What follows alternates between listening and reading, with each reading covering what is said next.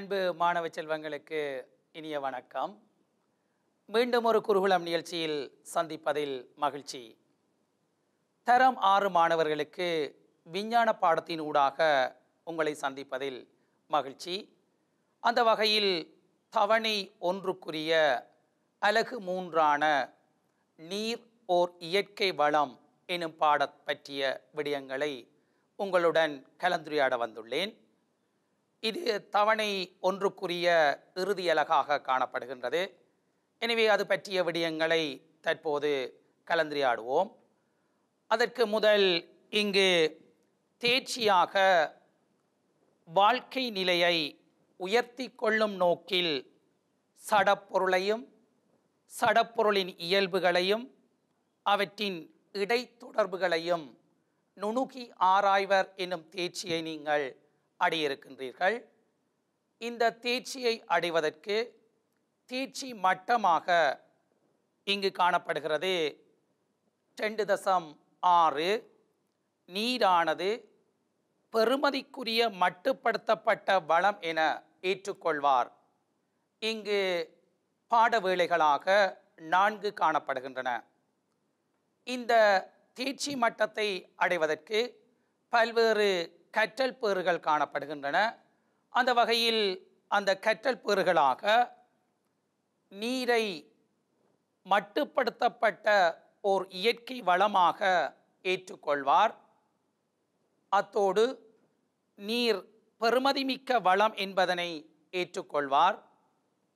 அதே சமயத்தில் நீர் ஓர் மட்டுப்படுத்தப்பட்ட வளம் என்பதை உணர்வதற்கு பல்வேறு தகவல்களை முன்வைப்பார். இவ்வாறு மேலும் சில தேர்ச்சிகளாக தேர்ச்சி மட்டங்கள் காணப்படுகின்றன. அதனை நாங்கள் அடுத்த வகுப்பில் கற்க இருக்கின்றோம். அந்த வகையில் நீர் ஒரு வரையறுக்கப்பட்ட வளமாக காணப்படுகின்றது. காரணம் புவி மேற்பரப்பில் அதிகளவு நீர் காணப்படினும் அந்த நீர் நுகர்வுக்குரிய அளவில் காணப்படவில்லை. கிட்டத்தட்ட புவி மேற்பரப்பில் எழுபது சதவீதம் நீர் காணப்படினும் அந்த எழுபது சதவீத நீரில் பெரும் பகுதி உவர் நீராகவே காணப்படுகின்றது. அதாவது சமுத்திரங்களில் கடல்களில் சோடியம் குளோரைட் எனும் அந்த ரசாயன பதார்த்தம் சேர்ந்து இருப்பதனால் பிரதானமாக அந்த சோடியம் குளோரைட் எனும் பதார்த்தம் பிரதானமாக சேர்ந்து இருப்பதனால் அங்கு உவர்திறன் காணப்படுகின்றது. எனவே நாங்கள் அந்த உவர்திறன் கொண்ட நீரை நாங்கள் நுகர்வதற்கு ஏற்றதல்லாதாக காணப்படுகின்றது. எனவே எங்களோட புவி மேற்பரப்பில் நுகர்வதற்கு ஏற்ற நீரின் அளவு மிக குறைவாகவே காணப்படுகின்றது. எனவே அன்பு செல்வங்களே நாங்கள் நீரை மட்டுப்படுத்தப்பட்ட அளவில் தான் காணப்படுகின்றது. எனவே நாங்கள் நீரை சிக்கனமாக பயன்படுத்த வேண்டிய தேவை ஏற்படுகின்றது. அந்த வகையில் இங்கு அங்கிகளின் நிலவுகைக்கு அத்தியாவசியமானவை எவை என கேட்கப்பட்டிருக்கிறது.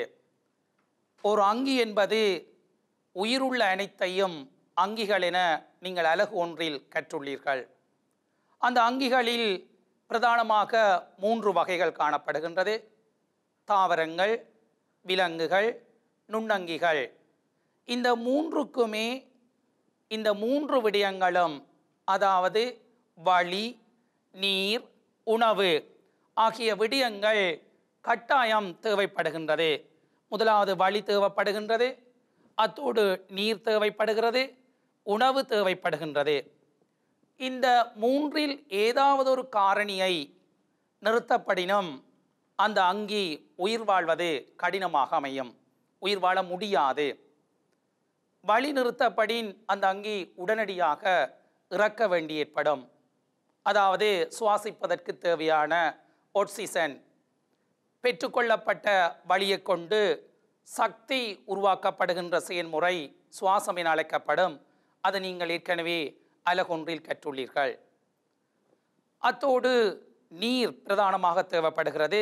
பெரும்பாலான உயிர் செயல்முறைகள் நடைபெறுவதற்கு நீர் தேவைப்படுகின்றது. அத்தோடு சக்தி தேவை இறந்த இளையங்களை புதுப்பித்தல் வளர்ச்சி ஆகிய தேவைகளுக்கு உணவு தேவைப்படுகின்றது. எனவே இந்த மூன்று காரணிகளும் முக்கிய காரணிகளாக அங்கிகளின் நிலவுகைக்கு முக்கிய காரணிகளாக அமைகின்றது. இங்கே முதலாவது காட்சிப்படம் இங்கு காட்டப்பட்டுள்ளது. வழி அதாவது வழியில் காணப்படுகின்ற ஒட்சிசனை பெற்றுக்கொள்வதை அங்கு காட்டப்படுகின்றது. அதாவது ஒட்சிசனை பெறப்படுகின்றது. அதே நேரத்தில் குடிநீர் அங்கு குடிக்கப்படுகிறது. மற்றது உணவு தேவை பூர்த்தி செய்யப்படுகிறது. அது சகல அங்கிகளுக்கும் போசணை தேவைப்படுகிறது. ஏற்கனவே நாங்கள் தற்போசணி புறபோசணி ஆகிய விடயங்களை கற்றுள்ளோம். தமக்குரிய உணவை தாமே தயாரிக்கிற செயற்பாட்டை நாங்கள் தற்போசணி எனவும் அது தாவரங்கள் பிரதானமாக தமக்குரிய உணவை தாமே தயாரித்து அவ் உணவு தேவையை பூர்த்தி பூர்த்தி செய்து கொள்கின்றது. அதே நேரத்தில் நாங்கள் மனிதர்கள் ஏனைய விலங்குகள் யாவும் புறபோசணிகளாக காணப்படுகின்றது. தாவரங்களில் நேரடியாகவோ மறைமுகமாகவோ தங்கியிருந்து தமது போசனையை பெற்றுக்கொள்கின்றது. எனவே இங்கு மிக முக்கியமாக நீரும் ஒரு முக்கிய நிலவுகைக்கு தேவைப்படுகின்றது அங்கிகளின் நிலவுகைக்கு. அத்தோடு மனிதனின் அடிப்படை தேவைகளாக உணவு உடை உறையுள் என்பன காணப்படுகின்றது. அது மனிதனின் அடிப்படை தேவைகள். இந்த அடிப்படை தேவைகள் இல்லாதும் அங்கி உயிர் வாழக்கூடியதாக இருக்கும். எனினும் இந்த மூன்று காரணிகளும் இல்லாவிடின் அங்கி உயிர் வாழ்வது கடினமாக அமையும். அடுத்து நாங்கள் அவதானிக்க இருப்பது இந்த இயற்கையில் காணப்படும் வளங்களை நாங்கள் இயற்கை வளங்கள் என அழைக்கப்படும். எங்களுடைய புவி உயிர் வாழ்வதற்கு அதாவது உயிரங்கிகள் வாழ்வதற்கு ஏற்ற வகையில் பல்வேறு இயல்புகள் காணப்படுகின்றன. சுவாசிப்பதற்கு ஆக்சிஜன் காணப்படுகின்றது. அதே நேரத்தில் நீர் காணப்படுகின்றது. அதே சமயத்தில் சூரியனிலிருந்து வருகின்ற களி ஊதா கதிர்கள் போன்றவற்றை தடை செய்வதற்காக ஓசோன் படை காணப்படுகின்றது. அதே நேரத்தில் தாவரங்கள் தமக்குரிய உணவை தயாரித்து எங்களுக்கு பூசணையை வழங்கக்கூடிய நிலை காணப்படுகின்றது. இவ்வாறு உயிர் வாழ்வதற்கு ஏற்றொரு கோளாக புவி காணப்படுகின்றது. அந்த புவியில் பல்வேறு இயற்கை வளங்கள் காணப்படுகின்றன. அந்த இயற்கையில் காணப்படுகின்ற வளங்களை நாங்கள் இயற்கை வளங்களினால் அழைக்கப்படும். அந்த இயற்கை வளங்களில் புவியிலிருந்து தான் எமக்கு தேவையான பல்வேறு பொருட்களை எடுத்துக்கொள்கின்றோம் அல்லது நுகர்கின்றோம். அந்த வகையில் நீரும் ஒரு இயற்கை வளமாக காணப்படுகின்றது. அந்த நீரையே நாங்கள் எடுத்து எங்களுடைய தேவைகளை பூர்த்தி செய்யக்கூடியதாக இருக்கின்றது. இயற்கை வளங்களில் நீர் முக்கியமான ஒரு இடத்தை பிடித்துக்கொள்கின்றது அத்தோடு நீர் ஒரு மட்டுப்படுத்தப்பட்ட வளமாக காணப்படுகின்றது. இது ஒரு முக்கியமான ஒரு சொல்லு மட்டுப்படுத்தப்பட்ட வளம். நான் ஏற்கனவே குறிப்பிட்டது போல புவியில் எழுபது சதவீதம் நீர் காணப்படினும் அங்கு பயன்படுத்தக்கூடிய அல்லது நுகரக்கூடிய நீரின் அளவு குறைவாகவே காணப்படுகிறது. அதாவது சைவர் தசம் சைவர் ஒரு வீதமே சைவர் தசம் சைவர் ஒரு வீதமே நுகரக்கூடிய அளவில் காணப்படுகின்றது. அந்த வகையில் எமக்கு நீர் ஒரு மட்டுப்படுத்தப்பட்ட வளமாக காணப்படுகிறது. அதாவது நேரடியாக நுகர்விற்கு பயன்படுத்த முடியாத தன்மை காணப்படுகின்றது. எனவே நீர் முதல்களில் பெரும்பாலானவை நேரடியாக நுகரப்பட முடியாத நிலையில் காணப்படுவதனாலேயே நீரை நாங்கள் ஒரு மட்டுப்படுத்தப்பட்ட வளமாக காணப்படுகின்றது என குறிப்பிடுகின்றோம். தொடர்ச்சியாக இங்கு உலகப்படம் அங்கு காட்டப்பட்டுள்ளது. இவ்வாறு காணப்படும் போது புவி மேற்பரப்பில் எழுபது சதவீதம் அதாவது நூற்றுக்கு எழுபது சதவீதத்திற்கு மேற்பட்ட பகுதி நீரினால் மூடப்பட்டுள்ளது. இங்கு நீங்கள் உலகப்படங்களில் அவதானிக்கும் போது அல்லது செய்மதி படங்களில் அவதானிக்கும் போது பெரும் பகுதி நீல நிறமாகவே காணப்படுகின்றது. அந்த நீல நிறமாக காணப்படுகின்ற பகுதி சமுத்திரங்களாக காணப்படுகின்றது. சமுத்திரங்கள் சமுத்திரங்களாக காணப்படுகிறது. நமது நாடான அழகான இலங்கை இந்து சமுத்திரத்தின் மத்தியில் காணப்படுகின்றது. இந்து சமுத்திரத்தின் இது இந்து சமுத்திரம் இங்கு இந்து சமுத்திரத்தின் மத்தியில் எமது நாடான இலங்கை காணப்படுகின்றது. இலங்கை ஒரு தீவாக காணப்படுகின்றது. நான்கு பக்கமும் கடலால் சூழப்பட்டு காணப்படுகின்றது. அவ்வாறு நீர்வளம் காணப்படினும் அது சமுத்திர நீராக காணப்படுகிறது. எனவே உவர் நீர் தன்மை காணப்படுகிறது. உவர் நீராக காணப்படுகிறது. அந்த இந்து சமுத்திரத்தில் காணப்படுகின்ற நீரை நாங்கள் நேரடியாக குடிப்பதற்கு பயன்படுத்த முடியாத தன்மை உள்ளது. இங்கு பெரும்பகுதி பான காணப்படும் போது எழுபது சதவீதம் நமக்கு சமுத்திர நீராகவே காணப்படுகிறது. அதாவது நீர்ப்பகுதி காணப்படினும் நுகரக்கூடிய நிலையில் காணப்படாத தன்மை இருக்கின்றது. தொடர்ச்சியாக இங்கு பயன்படுத்தக்கூடிய நீரின் சதவீதமாக சைபர் தசம் சைபர் ஒரு வீதம் எனும் சொற்ப அளவே இங்கு நீரை பயன்படுத்தக்கூடிய தன்மை காணப்படுகின்றது. அதாவது நேரடியாக நுகரக்கூடிய தன்மை காணப்படுகிறது.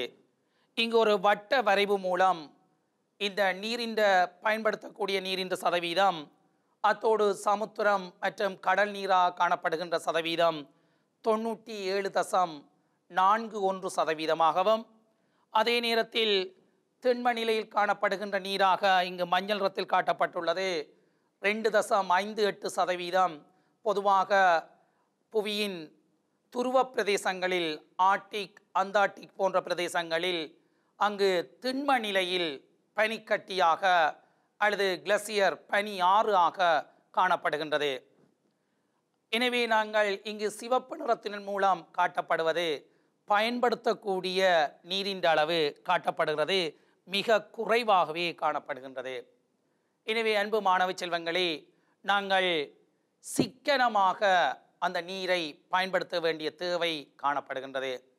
ஏனெனில் நீரை வீண்விரியமாக்கப்படும் போது நீருக்கான கேள்வி அதிகரிக்கப்படும். எனவே கேள்வி அதிகரிக்கும் போது போது நமக்கு கிடைக்கிற நீரின் அளவு குறைவாக இருக்கின்றது. அதாவது நேரடியாக நூறக்கூடிய நீரின் அளவு குறைவாக இருப்பது பாரிய பிரச்சனையாக காணப்படுகிறது. எனவே ஒரு விழிப்புணர்வை ஏற்படுத்துவதற்காகத்தான் மார்ச் மாதம் இருபத்தி ரெண்டாம் தேதி குடிநீர் சர்வதேச குடிநீர் தினமாக பிரகடனப்படுத்தப்பட்டுள்ளது. மக்கள் ஒரு விழிப்பு மக்கள் மீது ஒரு விழிப்புணர்வை ஏற்படுத்தி இந்த நுகரக்கூடிய நீரின் சதவீதம் மிக குறைவாகவே காணப்படுகிறது. எனவே நாங்கள் நீரை மிக சிக்கனமாக பயன்படுத்தப்பட வேண்டும் என்பதனை ஒரு விழிப்புணர்வை ஏற்படுத்துவதற்காக சர்வதேச குடிநீர் தினம் மார்ச் இருபத்தி ரெண்டில் அனுஷ்டிக்கப்படுகிறது. அடுத்து நாங்கள் அவதானிக்க இருப்பது நீரானது வரையறுக்கப்பட்ட வளமாயினம். எம்மில் பெரும்பாலானோர் அதனை கவன ஈனமாகவே பயன்படுத்துகின்றனர். அதாவது தான் தோன்றித்தனமாக நீரை நாங்கள் பயன்படுத்துகின்றோம். அவ்வாறு பயன்படுத்துகையில் நீரின் அளவதாவது குடிநீர் அல்லது சர்வ அதாவது சாதாரணமாக நுகரக்கூடிய நீரின் அளவு குறைந்து செல்கின்றது. எனவே நாளொன்றுக்கு நாம் எவ்வளவு நீரை வீண் விரியமாக்குகின்றோம் என சிந்தித்து பார்த்தால் உங்களுக்கு இதை பற்றிய விடயம் புலனாகும். எனவே நீங்கள் எதிர்கால சந்ததியினர் இந்த நீ குடிநீரை அதாவது நீரை அல்லது பயன்படுத்தக்கூடிய நீரின் அளவை நீங்கள் சிக்கனமாக பயன்படுத்துவதன் மூலம் எதிர்கால சந்ததியையும் அடுத்து வர்ற தொடர்ச்சியான சந்ததியினரையும் நமக்கு பாதுகாக்கக்கூடிய வழியில் காணப்படும். அடுத்து நாங்கள் அவதானிக்க இருப்பது நீர் வீண்பிரியமாகும் சந்தர்ப்பங்கள் இங்கு காட்டப்பட்டுள்ளது. தேவையற்ற நீரங் நேரங்களில் நீர்க்குழாய்களை திறந்து விடுதல். நீங்கள் அதிகாலை வேளைகளில் உங்களுடைய அம்மா சில வேளைகளில் வேலைக்கு ச- சிறுவர்கள் எனவே அதிகாலை வேளையில் எழுந்து படிப்பதற்காக உங்களை எழுப்பி விடுவார்கள். அந்த நேரத்தில் நீங்கள் அந்த குளியலறைக்கு சென்று பல் துளக்கும் போது நீங்கள் நீர்த்திருவடியை திறந்துவிட்டு பல் துளக்குவீர்கள். அந்த சந்தர்ப்பத்தில் பாருங்கள் இவர் பல் துளக்கி கொண்டிருக்கின்றார். அந்த சந்தர்ப்பத்தில் இங்கு நீர் திருவடி திறந்து நீர் வீணாக விரியமாகிக் கொண்டிருக்கின்றது. சில வேளைகளில் நீங்கள் முகங்கழுவி விட்டு அந்த நீர் திருவடியை பூட்டாமலே நீங்கள் சென்று விடுவீர்கள். அங்கு தொடர்ச்சியாக நீர் வெளியேறி கொண்டிருக்கும். இது எல்லாம் கவனையினமான செயற்பாடுகள். நீங்கள் சிறுவர்களாயினும் தரமாறு மாணவர்கள் அவ்வாறு இருப்பினும் இது பற்றிய விடயங்கள் உங்களுக்கு தெரிந்திருக்கப்படல் வேண்டும். நீங்கள்தான் எதிர்கால சந்ததியினர். எனவே இது இதை பற்றிய விடயங்கள் தெரிந்திருப்பின் எதிர்காலத்தை நாங்கள் வெற்றிகரமாக அந்த வாழ்க்கையை கொண்டு செல்லக்கூடியதாக இருக்கும். எனவே இவ்வாறு தேவையற்ற நேரங்களில் நீர் குழாய்களை திறந்து விடுவதன் மூலம் நமக்கு தேவையான நன்னீர் வீண்விரியமாவதை இங்கு காணக்கூடியதாக இருக்கின்றது. நல்லது பிள்ளைகளே நாங்கள் தொடர்ச்சியாக நீர் வீண்விரியமாகும் சந்தர்ப்பங்களை இங்கு அவதானித்துக் கொண்டிருக்கின்றோம். அந்த வகையில் குளிக்கும் போது சில வேளைகளில் அதிகளவான நீரை பயன்படுத்த வேண்டிய தேவை ஏற்படலாம். உண்மையில் நாங்கள் சாதாரணமாக வாளிகளில் நீரை அள்ளி குளிக்கப்படும் போது அல்லது நான் கிணற்று நீரை நீர்ப்பாம்பி மூலம் பயன்படுத்தும் போது அல்லது குழாய் நீரை பயன்படுத்தும் போது அதிகளவு நீரை நாங்கள் வீண்விரியமாக்குகின்றோம் இவ்வாறு சில சந்தர்ப்பங்களில் அதிகளவு நீர் வீண்விரியாக்கப்படும் போது நாங்கள் பயன்படுத்தப்படுகின்ற நன்னீரின் அளவு வீணாக தரைக்கு செல்கின்றது. எனவே இதனையும் நாங்கள் தவிர்க்கப்படல் வேண்டும்.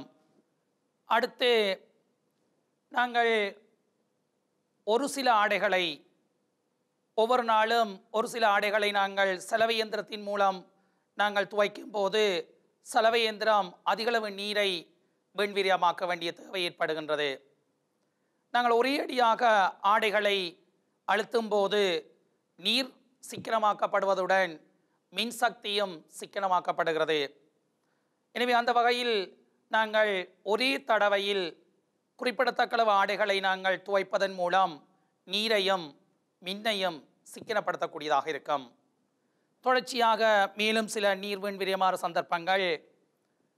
சில சந்தர்ப்பங்களில் உங்கள வீடுகளிலோ அல்லது பாடசாலைகளிலோ அல்லது பொது இடங்களிலோ இவ்வாறு நீர் குழாய்களில் வெடிப்புகள் ஏற்படின் உடனே அந்த திருத்த வேலைகள் மேற்கொள்ளப்படுவதன் மூலம் நீர் வீண்விரியமாகுவதை தடுக்கக்கூடியதாக இருக்கும் பொது இடங்களில் தற்சமயம் இவ்வாறான நீர் குழாய்கள் வெடிப்பு காணப்படின் உடனடியாக பொருத்தமான பொருத்தமானவர்களிடம் அதை அறிவிப்பதன் மூலம் அந்த நீர் வீண்விரியமாவதை குறைக்க முடியும்.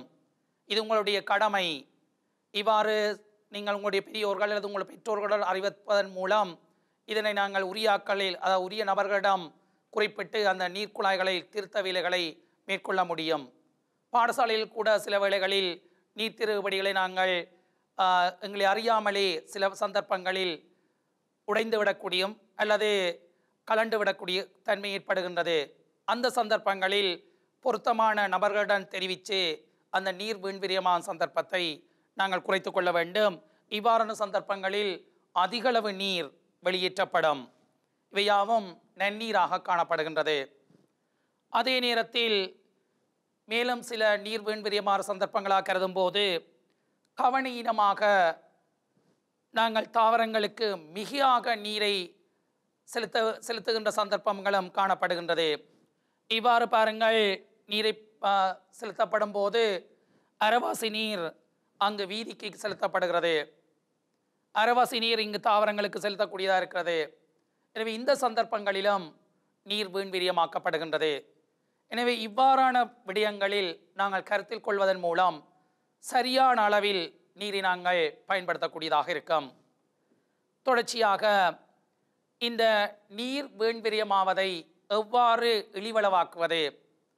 இப்போது நாங்கள் அவதானித்துக் கொண்டிருந்தது நீர் வீண்விரியமாகிற சந்தர்ப்பங்களை நாங்கள் பார்த்திருந்தோம். இனி நாங்கள் அவதானிக்க இருப்பது நீர் வீண்விரியமாவதை எவ்வாறு இழிவளவாக்கலாம்? இழிவளவாக்கலாம் என்பதை எவ்வாறு குறைக்க முடியும்? எனவே அந்த வகையில் நாங்கள் நீர்க்குழாய்களை பயன்படுத்தியவுடன் பொருத்தமான வகையில் அதனை மூடிவிடுதல். பல் துளக்கிய முடிந்தவுடன் அதாவது முகங்களை கழுவிய பின்னர் உடனடியாக நீர் திருபடியை மூடி இறுக்கமாக மூடிவிடல். சில சந்தர்ப்பங்களில் நீங்கள் மூடினது போல் தெரி- தென்படும் ஆனால் நீர் வெளியேறிக் கொண்டிருக்கும். எனவே இறுக்கமாக மூடி அதை அவதானித்து விட்டு செல்லுதல். நீங்கள் யாவருமே விஞ்ஞானமானவர்கள். எனவே சூழலை நன்கு அவதானித்து சூழலில் ஏற்படுற மாற்றங்களுக்கு ஏற்ப அல்லது சூழலில் அங்கு வீண்விரியமாகிற சந்தர்ப்பங்கள் சூழலுக்கு நியமாக நீங்கள் நடந்து கொள்வதன் மூலம் உங்களுடைய வீட்டு வீடு உங்களுடைய சமூகம் உங்களுடைய நாடு என்பனவற்றை பாதுகாக்கக்கூடிய தன்மை காணப்படுகின்றது. இவ்வாறான விஞ்ஞான மனப்பாங்கை உங்களால் வளர்த்து கொள்ள வேண்டும். அடுத்து நாங்கள் அவதானிக்க இருப்பது குளிக்கும்போது அளவாக நீரை பயன்படுத்துதல். நாங்கள் அதிகளவு நீரை பயன்படுத்தாது அளவாக பயன்படுத்தும் போது இவ்வாறு ஷவரை பயன்படுத்தும் சந்தர்ப்பங்களில் நீர் வீண் சந்தர்ப்பம் மிக குறைவாக காணப்படும். எனில் குறைந்தளவு நீர் அங்கு வெளியேற்றப்படுகிறது. எனவே நாங்கள் அளவாக அந்த நீரை பயன்படுத்தக்கூடியதாக இருக்கும். இவ்வாறு பயன்படுத்தும் போது நீர் வெளியே அதாவது நீர் அதிகளவு வெளியேறுவது குறைக்கப்படுகின்றது.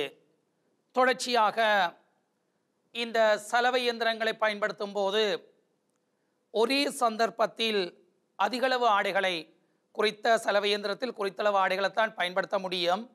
அதாவது குறிப்பிடத்தக்க அளவு ஆடைகளை நாங்கள் இட்டு துவைப்பதன் மூலம் நீர் மற்றும் மின்னையும் சிக்கனப்படுத்தக்கூடியதாக இருக்கும். அத்தோடு நீர்க்குழாய்களில் வெடிப்புகள் ஏற்படின் உரிய நபர்களுக்கு தெரிவித்து உடனடியாக அந்த நீர்க்குழாய்களை திருத்தும் வேலைகளில் ஈடுபடல்.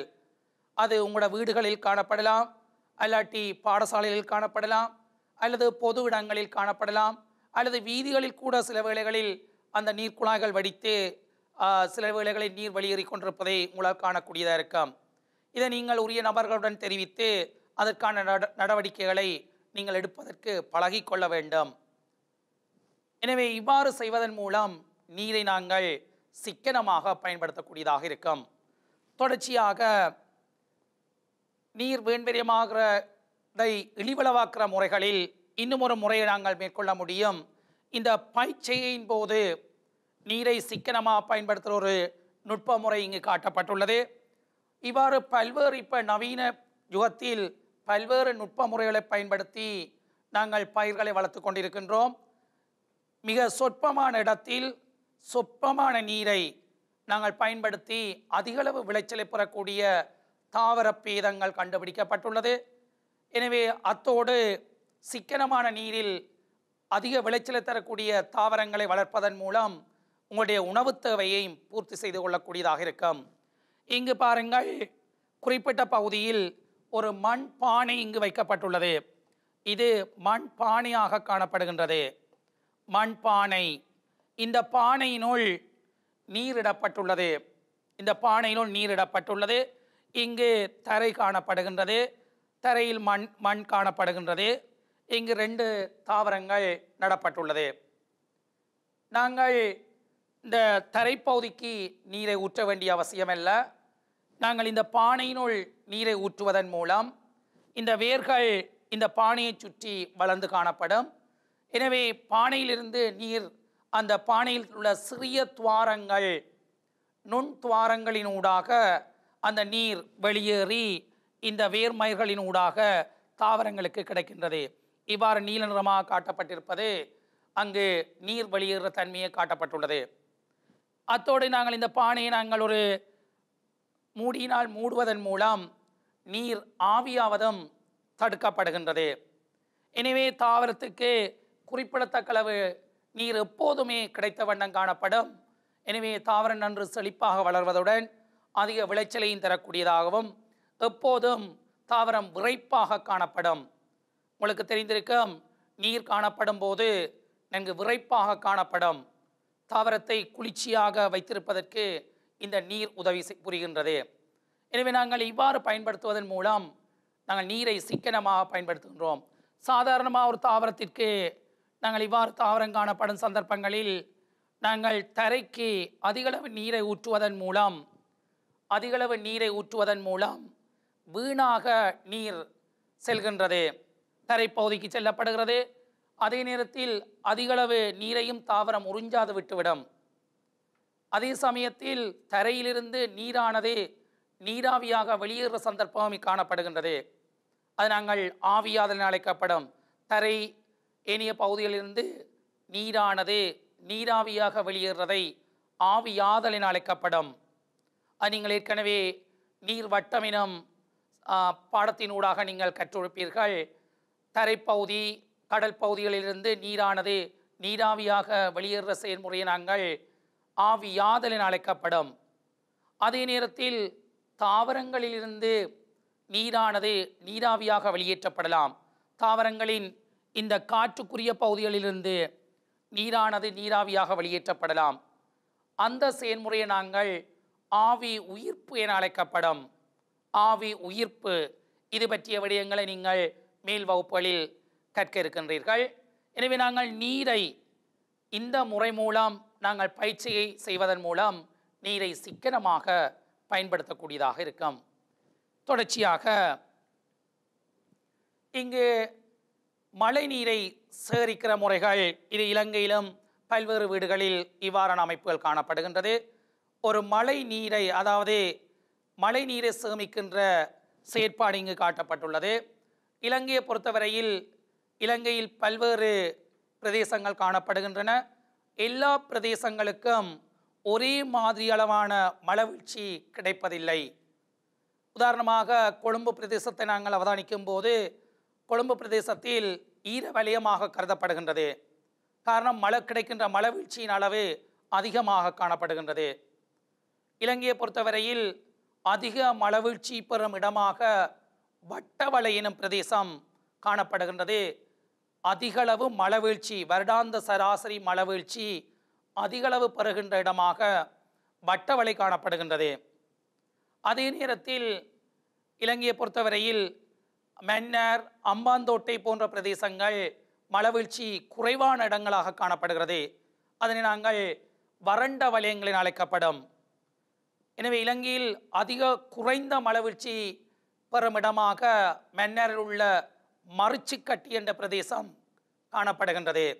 எனவே இலங்கையை பொறுத்தவரையில் எல்லா இடங்களிலும் ஒரே மாதிரியான மழவீழ்ச்சி கிடைப்பதில்லை. எனவே நாங்கள் வறண்ட பிரதேசம் அல்லது இடப்பப்ப வலய பிரதேசங்களில் காணப்படுற மக்கள் மழைநீரை சேகரிக்க வேண்டிய தேவை காணப்படுகிறது. அத்தோடு இலங்கை ஒரு விவசாய நாடு. முன்னர் ஆண்ட மன்னர்களினால் அந்த மன்னர்களின் பிரதான வேலை அல்லது பிரதான கர்மமாக காணப்பட்டது. அந்த மழைநீரை சேகரிக்கிறது. காரணம் மழைநீர் ஒரு நன்னீர் அதாவது உப்புக்களற்ற நீராக காணப்படுகிறது. எனவே அந்த உப்புக்களற்ற நீரை நாங்கள் தரையில் சேமித்து வைப்பதன் மூலம் எங்களுடைய வறட்சியான காலம் அல்லது மலவீழ்ச்சி குறைவாக கிடைக்கின்ற காலங்களில் அந்த மழை நீரை சேமித்து எங்களால் பயன்படுத்தக்கூடிய நிலைமை காணப்படுகின்றது. அதே போன்றுதான் இவ்வாறான வீடு போன் வீடுகளில் காணப்படுகின்ற இடங்களில் இந்த ஒரு நீர்த்தொட்டி இங்கு காட்டப்பட்டுள்ளது ஒரு சேமிக்க நீர்த்தொட்டி ஒன்று காணப்படுகின்றது. நீர்த்தொட்டி காணப்படுகிற நீர்த்தொட்டி இந்த தொட்டியில் மழை வீழ்ச்சி அதாவது மழை பெறுகிற காலங்களில் இங்கு மழை நீர் சேர்ந்து இந்த நீர்த்தொட்டிக்குள் வந்து சேருகின்றது. பின்னர் நாங்கள் அந்த நீர்த்தொட்டியில் உள்ள நீரை தேவையான சந்தர்ப்பங்களில் பயன்படுத்த முடியும். குடிப்பதற்கு சற்று உகந்ததல்லாவிடினும் ஏனைய தேவைகளுக்கு அந்த நீரை நாங்கள் பயன்படுத்தக்கூடியதாக இருக்கும். எனவே நாங்கள் இவ்வாறு சேமிப்பதன் மூலம் எங்களோட நீரை நாங்கள் சிக்கனப்படுத்தி கொள்ளக்கூடியதாக இருக்கும். அதே போன்று சேகரிக்கப்பட்ட நீ மழை நீரை எவ்வாறு எடுக்கப்படுகின்றது என்பதனை நாங்கள் ப பயன்படுத்துவதற்கு எவ்வாறு எடுக்கப்படுகிறது என்பதனை இங்கு காட்டப்பட்டுள்ளது. நாங்கள் குடிப்பதற்கு நாங்கள் பயன்படுத்துவது அவ்வளவு பொருத்தமில்லாத அமையும். சில வேளைகளில் அந்த கூரைகளில் பறவைகளின் எச்சங்கள் அதுகள் காணப்படலாம். எனவே அதுகளும் சேர்ந்து அந்த நீர்த்தொட்டிகள் சேரலாம். அல்லாது நாங்கள் என்ன எவ்வாறு செய்யப்பட வேண்டுமெனில் முதலாவது தடவையாக பெய்கின்ற மழை நீரை வெளியே அனுப்பிவிட்டு ஏனைய மழை நீரை நீர்த்தொட்டியில் சேகரிப்பதன் மூலம் எங்களுடைய ஓரளவு சுத்தமான நீரை பயன்படுத்தக்கூடியதாக இருக்கும். எனவே நாங்கள் மழை நீரை சிக்கனமாக பயன்படுத்துகிற சில சந்தர்ப்பங்கள் அல்லது மழைநீரை சேகரிக்கிற சந்தர்ப்பங்கள் இங்கு காட்டப்பட்டுள்ளது. தொடர்ச்சியாக இலங்கை ஒரு விவசாய நாடு என்று ஏற்கனவே நான் குறிப்பிட்டிருந்தேன். உண்மையில் இலங்கையில் ஆரம்ப காலங்களில் பண்டைய காலங்களில் அல்லது புராதன காலங்களில் அரசர்களினால் மிக முக்கிய கர்மமாக அல்லது மிக முக்கிய வேலைகளாக பாரிய குளங்கள் கட்டப்பட்டமை. அதாவது அந்த குளங்கள் கட்டிய நுட்பங்கள் அந்த தொழில்நுட்பங்கள் மிக உன்னதமாக உலகத்தாலேயே பார்க்கப்படுகின்ற ஒரு விடயம். எவ்வாறு இந்த குல குளங்கள் கட்டப்பட்டன? அதாவது மனிதனால் கட்டப்பட்ட ஒரு பாரிய ஒரு நீர்த்தேக்கங்களாக காணப்படுகிறது இந்த குளங்கள்.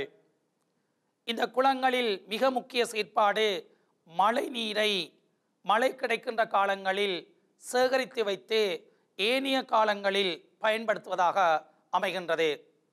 எனவேதான் இந்த ஆரம்பத்தில் நாங்கள் விவசாயம் செய்யப்படும் போது மழையை நம்பி செய்யப்படும் போது அந்த பயிற்சிகையை பெரும்போகம் எனவும் அதே நேரத்தில் மழை கிடைக்காத காலங்களில் குளத்தில் காணப்படுகின்ற நீரை பயன்படுத்தி அங்கு விவசாயம் செய்யப்படும் போது சிறுபோகம் எனவும் அழைக்கப்படுகின்றது. சில வேளைகளில் ரெண்டு மூன்று தடவைகள் அந்த சிறுபோக பயிற்சியை மேற்கொள்ளப்படுகின்றது. காரணம் அந்த குளங்களில் தேக்கி வைக்கப்பட்ட நீரை பயன்படுத்தப்படுகிறது. இலங்கையில் பல்வேறு குளங்கள் காணப்படுகின்றது. அவ்வாறு குளங்கள் காணப்படுகின்றமையினால்தான் அந்த கிராமமே மிக சிறப்பாக செழிப்பாக காணப்படுகின்றது. தாவரங்கள் யாவும் மிக செழிப்பாக காணப்படுகின்றன. அங்கு விவசாயத்தில் தன்னிறவை பெறுகின்றது. மிக நல்ல உதாரணம் புலனர்வையில் காணப்படுகின்ற பராக்கிரமபாகு சமுத்திரம். அது சமுத்திரம் என்றே சொல்லப்படுகிறது. குளம் என்று சொல்லாமல் சமுத்திரம் என்று சொல்லப்படுகிறது. காரணம் பாரிய நீர்ப்பரப்பு. நாங்கள் பொதுவாக பாரிய நீர்ப்பரப்புகளை நாங்கள் சமுத்திரம் என அழைக்கப்படும். அதே போன்றுதான் எமது நாட்டில் காணப்படுகின்ற மிகப்பெரிய ஒரு நீர்த்தேக்கமாக அல்லது மனிதனால் கட்டப்பட்ட அமைப்பாக இந்த பராக்கிரம பாகு பராக்கிரம சமுத்திரம் காணப்படுகின்றது. அந்த வகையில் பிரதானமாக புவிக்கு மழையின் மூலமே நமக்கு நீர் கிடைக்கின்றது. மழைநீரை திட்டமிட்டு பயன்படுத்தப்படாவிடின் அது ஓடைகள் ஆறுகளினூடாக சென்று கடலை அடைந்து வீணாகின்றது.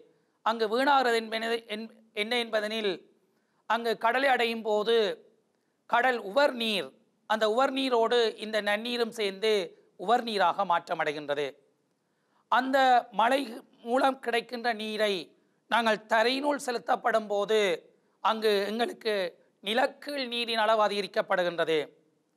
அவ்வாறு நிலக்கீழ் நீர் அதிகரிக்கப்படும் போது தாவரங்கள் நன்கு செழிப்பாக வளரக்கூடியதாக இருக்கும்.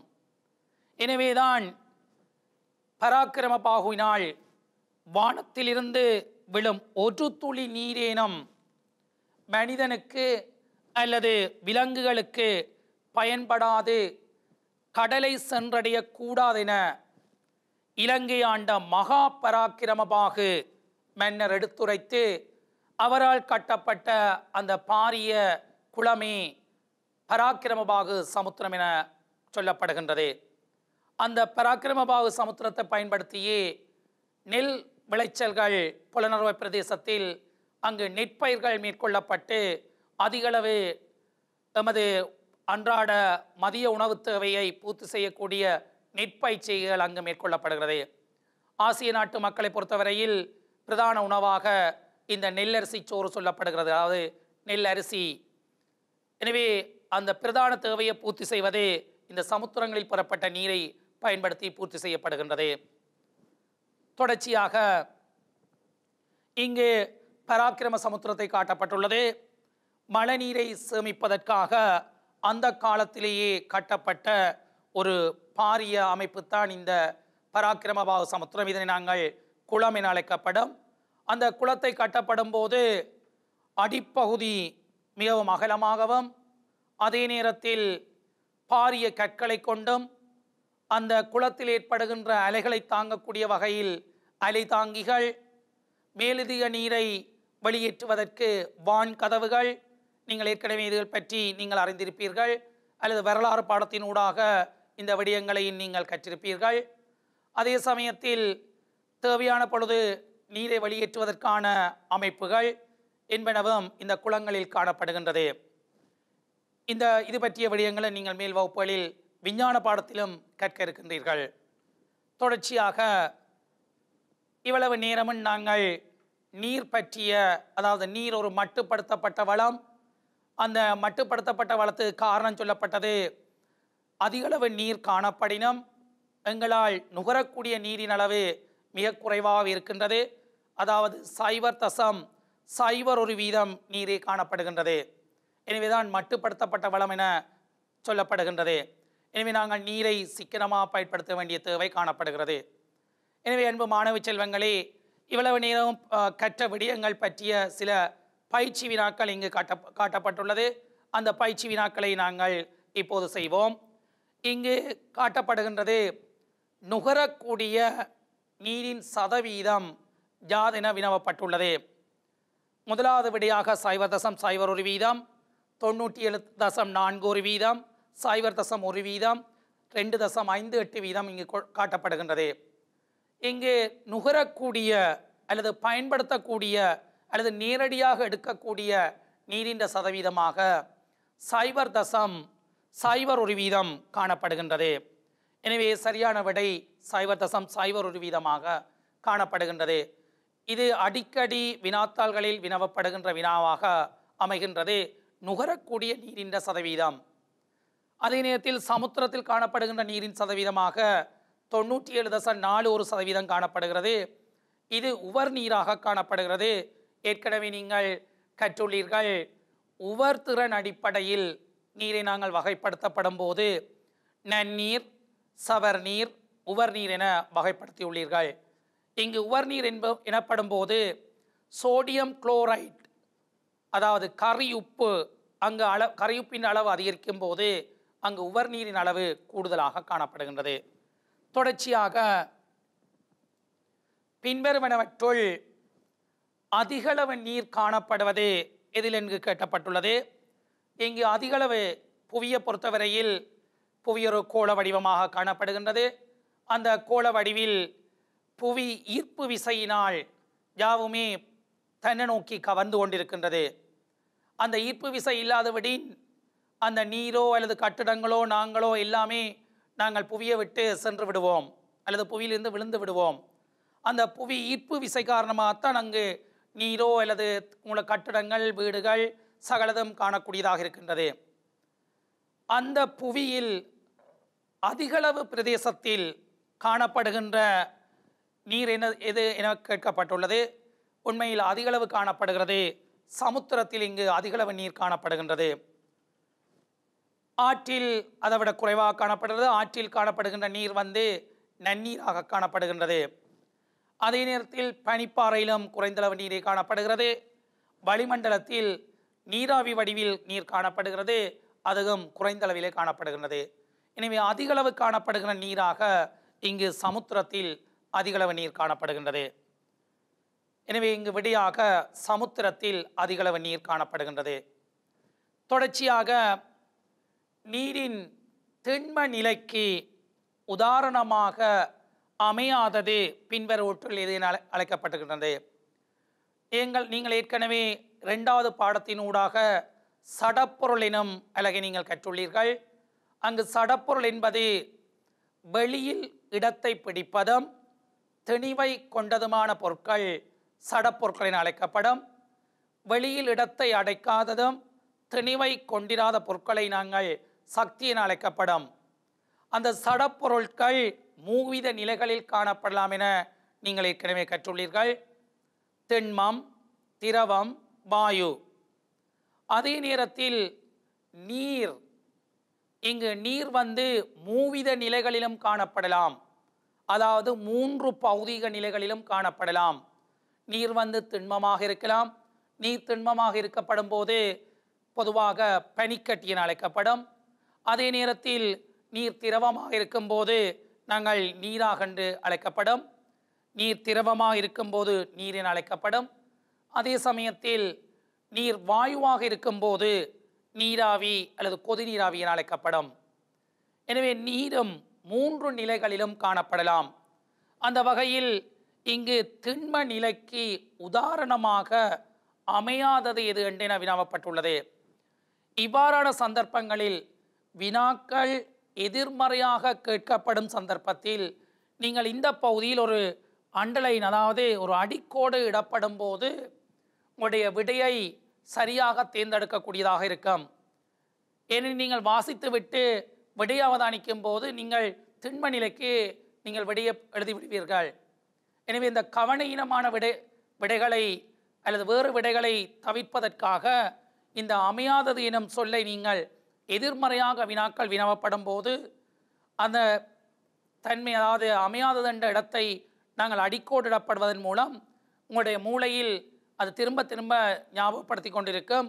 எனவே நீங்கள் சரியான விடையை இலகுவாக தேர்ந்தெடுக்கக்கூடியதாக இருக்கும்.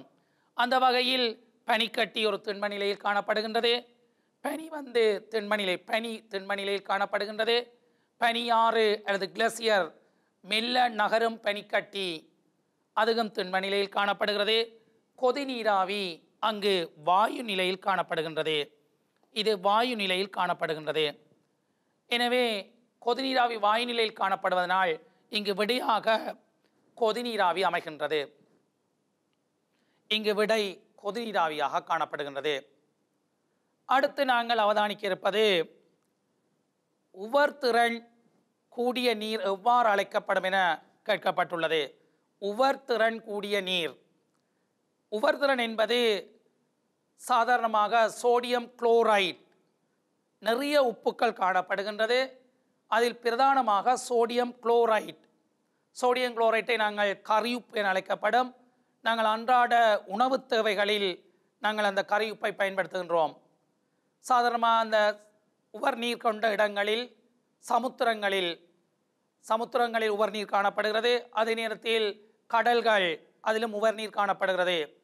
இலங்கையை பொறுத்தவரையில் ஆனையிறவு அம்பாந்தோட்டை புத்தளம் மன்னர் போன்ற பிரதேசங்களில் இந்த உப்பு உற்பத்தியாக்கப்படுகின்றது. உப்பு உற்பத்தியாக்கப்படுகிற இடத்தை நாங்கள் உப்பளங்கள் என அழைக்கப்படும்.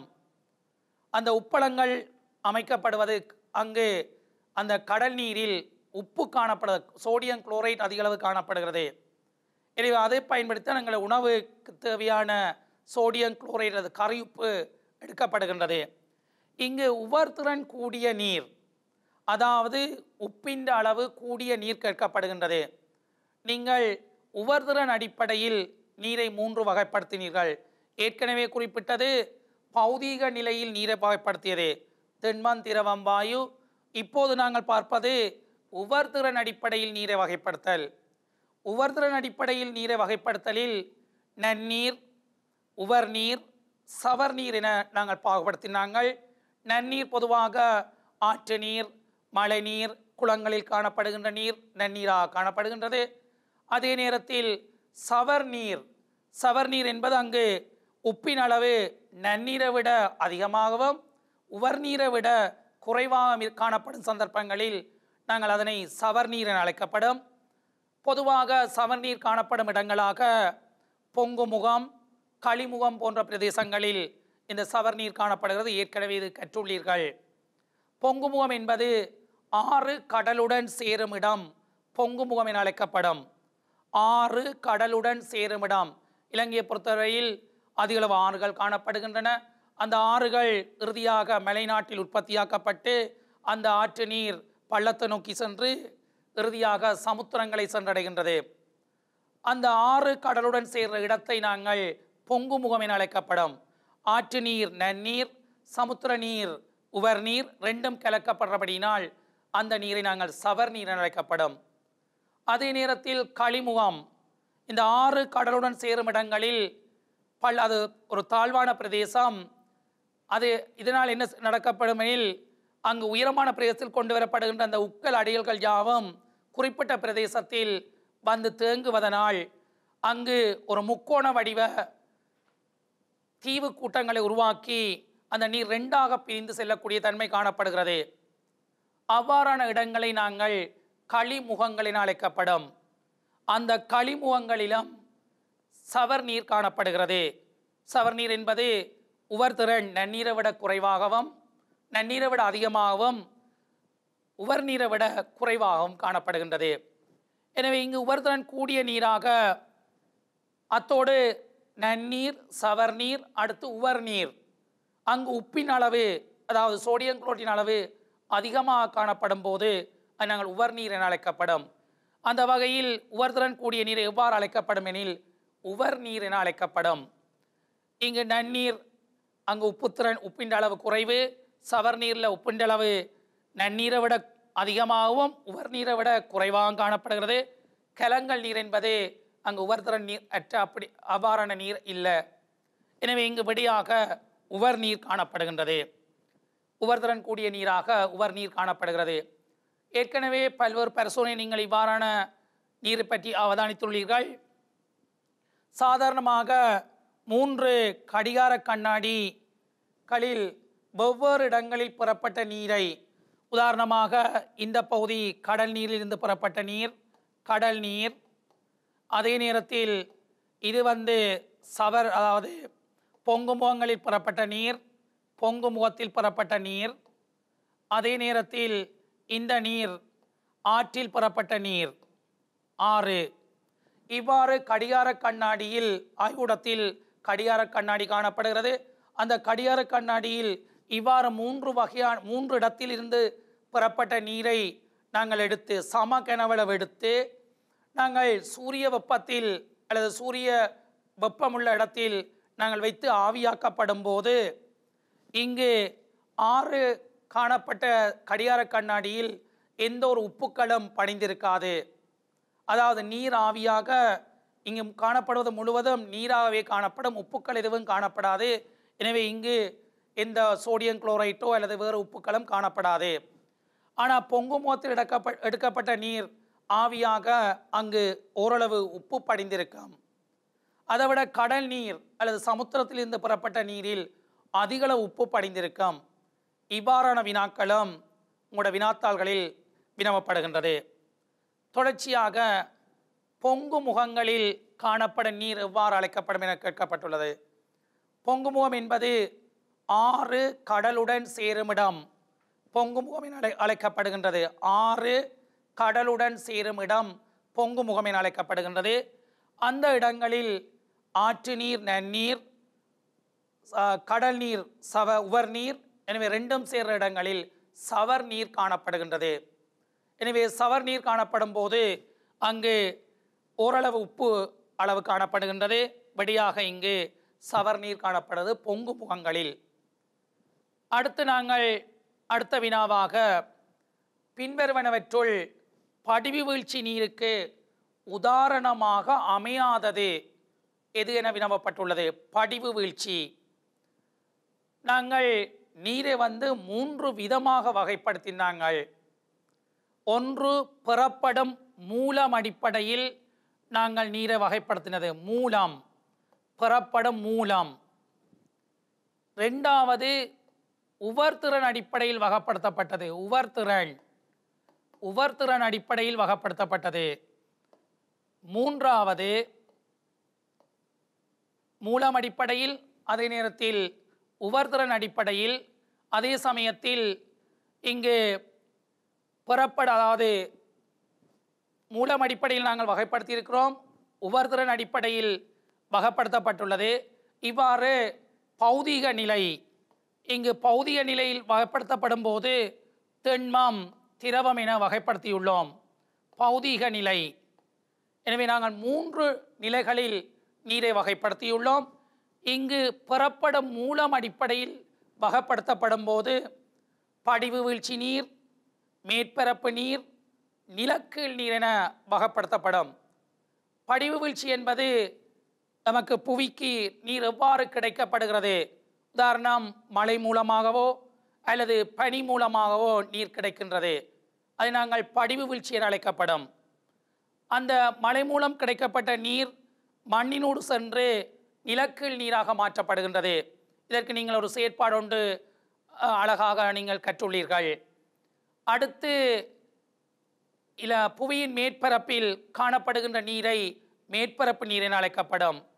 சாதாரணமாக நிலத்தில் காணப்படுகின்ற நீர் கிணறு குழாய் கிணறுகளில் காணப்படுகின்ற நீர் நிலக்கீழ் நீராகவும் அதே நேரத்தில் மேற்பரப்பு நீராக ஆறு குளங்கள் சமுத்திரங்கள் கடல்கள் ஆகியவற்றில் காணப்படுகின்ற நீர் மேற்பரப்பு நீராகவும் காணப்படுகின்றது. அந்த வகையில் படிவு வீழ்ச்சி நீருக்கு உதாரணமாக அமையாதது என வினவப்பட்டுள்ளது.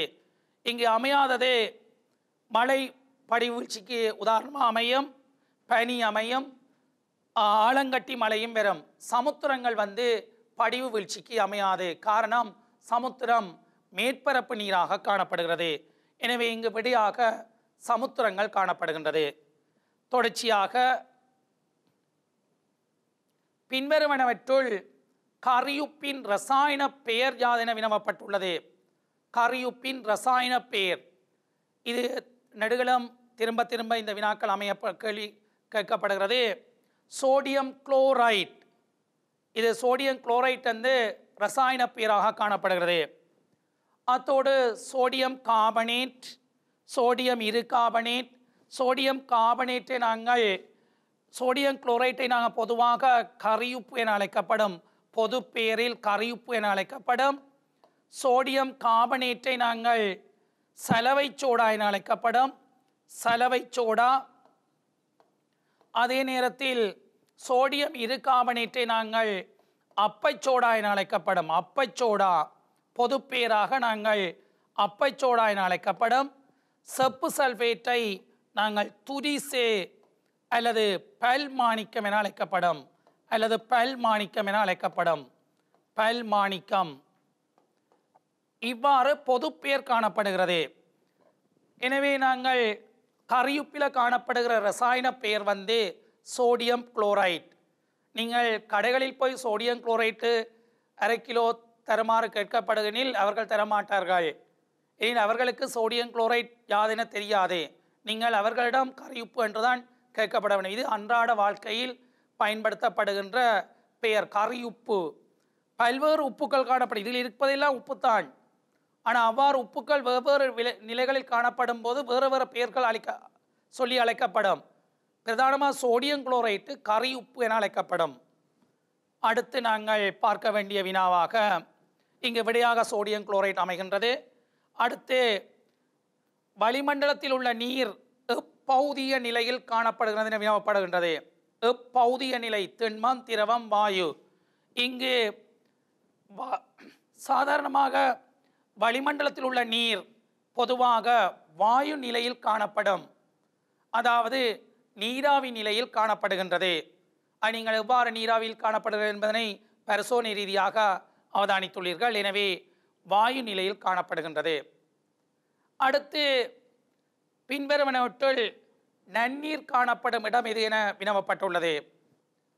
களிமுகங்களில் அது ஏற்கனவே குறிப்பிட்ட நான் களிமுகங்களில் காணப்படுவது சவர்நீர் பொங்குமுகங்கள் பொங்குமுகங்களில் காணப்படுவது சவர்நீர் களிமுகங்கள் பொங்குமுகங்களில் காணப்படுவது சவர்நீர் சமுத்திரங்களில் காணப்படுவது உவர்நீர் ஆறுகளில் காணப்படுவது நன்னீராக காணப்படுகின்றது.